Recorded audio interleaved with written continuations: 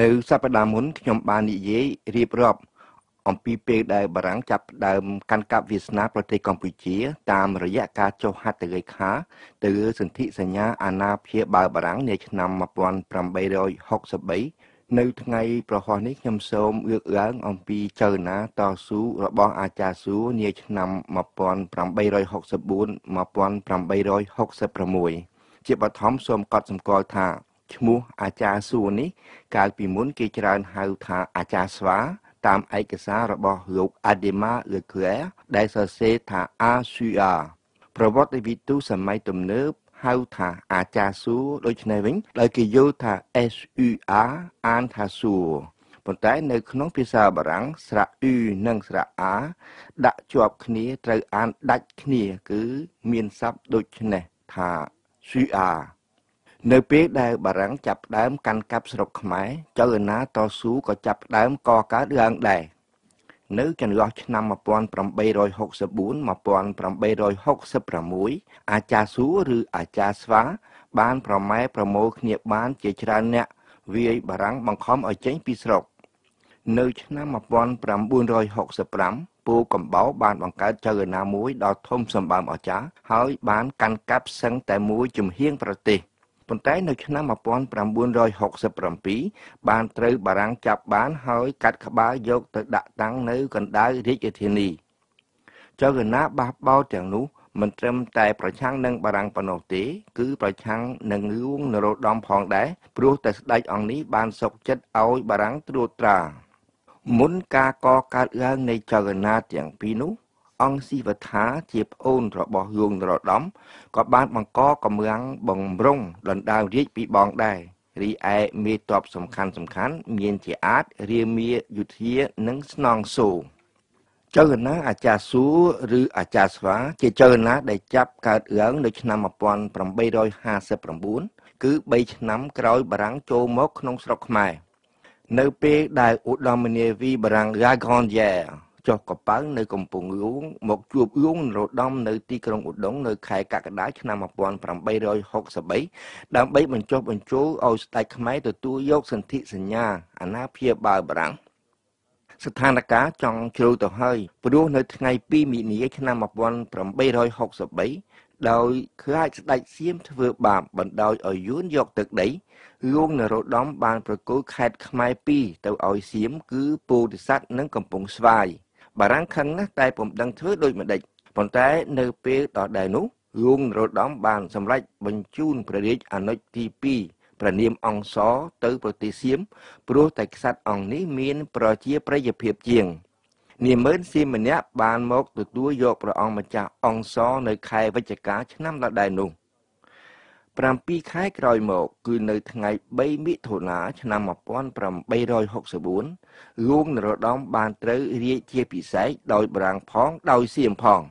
គឺនៅពេលនោះហើយដែលមេបាសបោម្នាក់ឈ្មោះស្វាងើបឡើងប្រឆាំងនឹងបារាំងនៅឆ្នាំ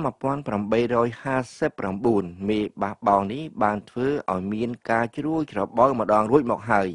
គេតាំងខ្លួនគេថាជាព្រះអង្គម្ចាស់អង្គភឹមដែលត្រូវជាព្រះរាជបុត្ររបស់អតីតឧបរាជអង្គអែមតាមការពិតព្រះអង្គម្ចាស់អង្គភឹមជាក្សត្រមួយអង្គដែលមានជំងឺវិកលចរិតហើយដែលសុគតនៅទីក្រុងបាងកកតាំងពីឆ្នាំ1855នៅក្នុងជនមាយុ31ព្រះវស្សាមកឯណោះ នៅពេលដែលចេញធ្វើសកម្មភាពនៅឆ្នាំ1859អាចារ្យស្វានេះ បានត្រូវគេចាត់ថាជាអ្នកមានបុណ្យបារមីម្នាក់ដែលត្រូវឡើងគ្រងរាជស្រុកខ្មែរ